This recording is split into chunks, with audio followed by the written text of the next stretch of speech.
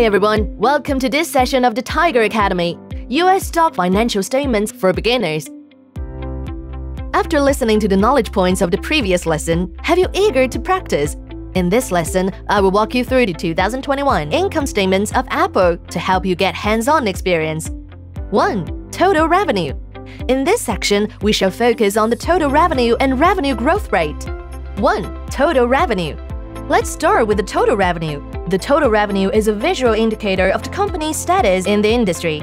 Generally speaking, if a company has higher revenue, the more competitive it is in its industry. So when I look for the leading companies in an industry, I will find all the listed companies in that industry and then rank them by market cap and total revenue. Companies that are ranked high in both of these categories are also generally considered to have a competitive advantage in their industry. 2. Revenue growth rate. Let's talk about the revenue growth rate. Revenue growth rate can help us determine whether a company has growth potential. Generally speaking, if a company's revenue growth rate is more than 10%, we can conclude that the company has great growth potential. These companies are also the main focus in the investments. In most cases, revenue growth rate below 10% shows that the company is growing rather slowly and has little potential. What's more, a revenue growth rate below 0% indicates that a company is in decline. From an investor's perspective, this is the type of company which should be avoided. Moreover, you should evaluate this metric over a minimum of 5 years as the pandemic has slowed down the growth of many reputable companies. Okay, next, gross margin. 2. Gross margin. A company with high gross margin is generally considered to offer competitive products and services a low gross margin shows that a company is at a competitive disadvantage. According to Warren Buffett, companies with gross margins above 40% have competitive advantages and are more likely to be in a sustainable leading position in the industry. Companies with gross profit margins below 40% generally face stiff competition. Therefore, I generally focus on the companies with a gross profit margin of more than 40% over a sustained period of time. Next, operating margin. 3. Operating margin. Operating income equals gross profit minus operating expenses. Operating margin equals operating income divided by total revenue. If the operating margin is high, the enterprise's main business provides high profits and its profitability is strong. Conversely, this low operating margin means the enterprise's profitability is weak. Operating margin generally vary widely in each industry. For example, operating margin in the tech sector are generally above 30%, while those in the retail industry and manufacturing industry are generally only about 10%. Therefore, when comparing the operating margin of a listed company, we need to compare it with the industry average so that we can judge whether the company has a competitive advantage. Finally, net income margin.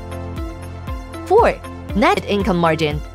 As mentioned previously, Net income is the bottom line in the income statements.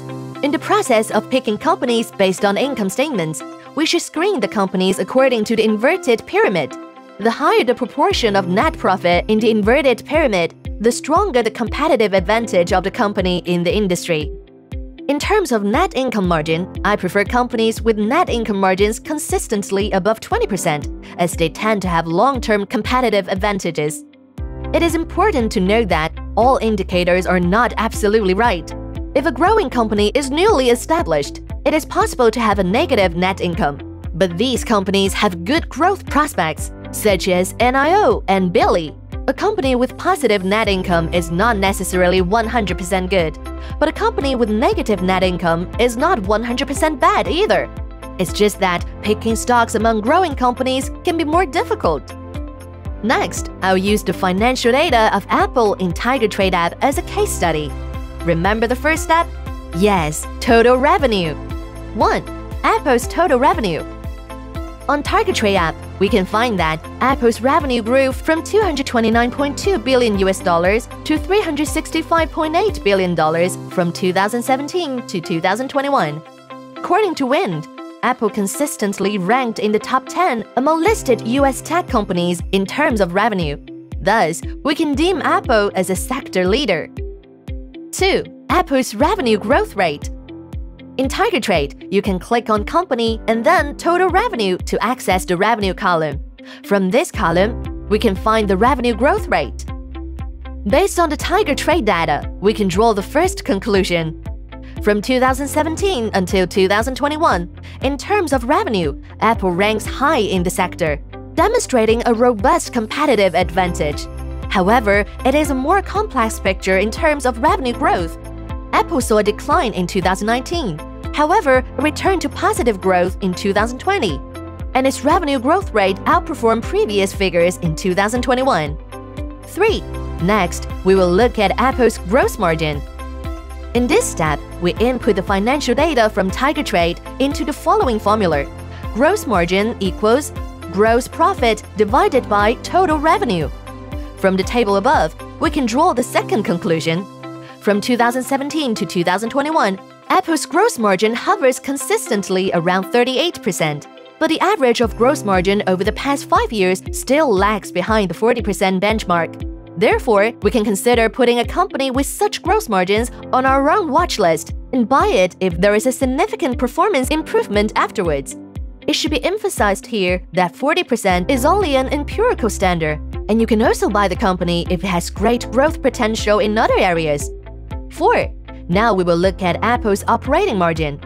Operating margin equals operating income divided by total revenue. We can find this ratio from Tiger Trade app. Through a simple calculation, we get the following data. From 2017 to 2021, Apple's operating margin remains around 25%. At the same time, the number of companies in the IT sector continued to increase from 635 to 765, according to Wind. In terms of operating margin, Apple ranked 22nd in 2017, 54th in 2018, 65th in 2019, 60th in 2020, and 49th in 2021. Hence, it consistently ranked among the top 10% in the sector. Thus, we can draw the third conclusion. From 2017 to 2021, Apple's operating margin remains around 25%. In the IT sector, Apple ranks among the top 10%. 5. Finally, Apple's net income margin. Net income margin equals net income divided by total revenue. We can find the net income and total revenue data from the same source. Through calculation, we get the following data.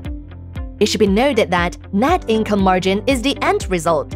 If a company's net income margin consistently stays above 20%, it is likely to have a long-term competitive advantage. Here, we draw the fourth conclusion. Over the past five years, Apple's net income margin consistently stays above 20%. As a result, it is likely to have a long-term competitive advantage. Summary After the above analysis, we understand Apple's income statement better, don't we? We should keep it in mind that no company is perfect. Through our analysis of Apple's income statement, a world-renowned company, we have identified many problems, such as 1. Total revenue suffered decline 2019. 2. Average gross margin over the past 5 years failed to reach the 40% benchmark. However, to be good investors, we must remain sharp and identify the key ratio. For example, Apple's net income margin over the past 5 years averages above 20%, showing strong profitabilities.